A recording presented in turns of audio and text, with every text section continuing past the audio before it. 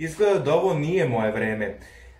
Prevalila sam 30 ima tome već evo punih 5 godina i što bi rekla moja baba, eto ti 40 kucati na vrata. U strahu od te 40 krenula sam kod nutricioniste kako bih na vreme iz ishrane izbacila sve ono što bi moglo da me dodatno postara, uspori metabolizam i izazove bolest.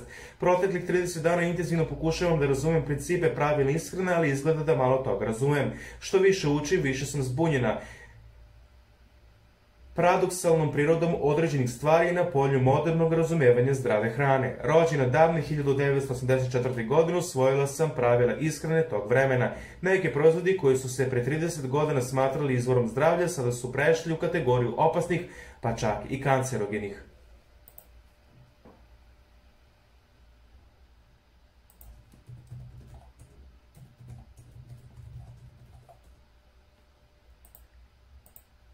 Mleko. Savremeni nutricionisti i pristalice zdravog načina života mleko smatraju gotovo otrovom.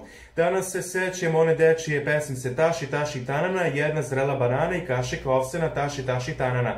Mleko puno čaši od mrkve kaša i barano jaje detetu se daje. Mleko je bilo obavezno u školama, vrtićima, pa čak i u bolnicama. Varioci su mleko pili litrima kao eliksir zdravlja. Danas se sve to promenilo. Skoro sve pristalice zdrave hrane klasifikuju mleko kao bezvrdno. Čak je postalo radikalno mišljenje da mleko doprinosi razvoju raka. Sve to je rezultiralo da trgovci i privrednici rafove prodavnice napune veštačkim mlekom na bazi soje i drugih biljnih sastojaka. Suncokretovo ulje. Za razliku od mleka za suncokretovo ulje još ne govore da je toliko štetno, ali postalo je skoro beskorisno. Istovremeno se razvio pravi kult maslinovog ulja, ali ako pažljivo pogledamo oba proizvoda, jasno ćemo vidjeti da maslinovo ulje nije ništa bolje od suncokretovog.